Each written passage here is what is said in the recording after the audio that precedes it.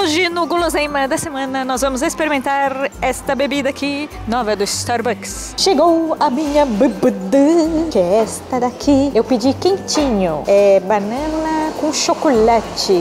Chocolate. Vamos abrir, porque eu gosto de olhar aqui como foi feito. Se não foi feito muito bem, é porque o gosto também não está muito bem. Com cuidado que eu... tá quente. Ah, lá vai. Poro! Que coisinha bonitinha. Parece bolo esse negócio aí. O que, que será que é?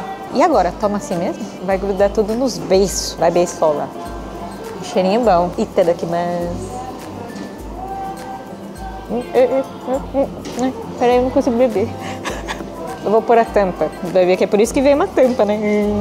De novo. Itadakimasu.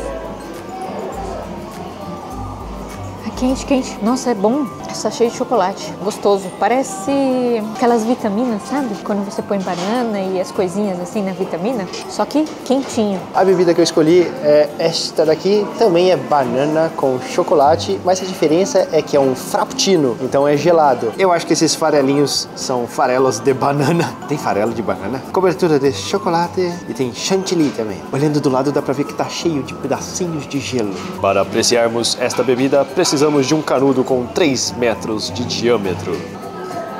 Tadakimasu.